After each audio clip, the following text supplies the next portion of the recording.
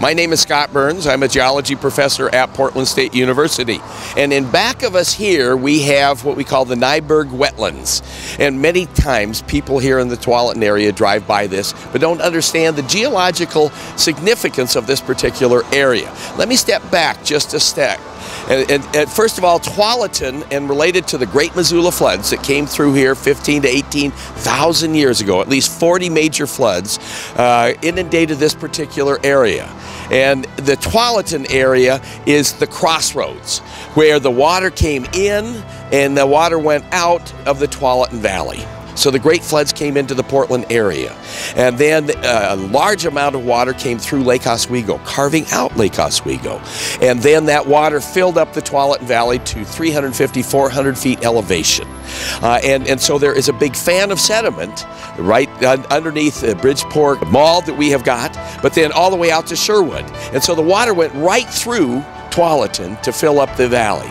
Then the water had to eventually go back into the Willamette River and then out into the ocean. And so every time you drive by this, you are seeing this area here, this lowland area, a wetland today, but that is where all of the, uh, or at least uh, a third of the water from the whole Tualatin Valley went back into the Willamette Valley uh, River right after the floods.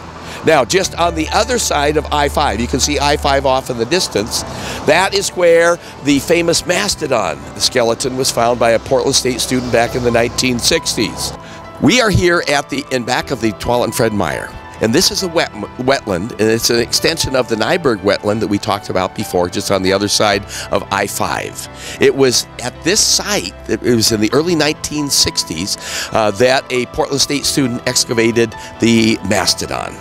Uh, and, and this was farmed in the summertime, primarily just for hay, uh, and because it, was wetland and wet most of the rest of the year, but they would dry out at the end of the summer, and they would cut it for hay. But they kept on bouncing over these bones. And the Nyberg family uh, contacted Portland State University and said, We've got these big bones sticking out uh, of the ground. And so a couple of students from Portland State came out, excavated, and they were big bones. They were mastodon bones.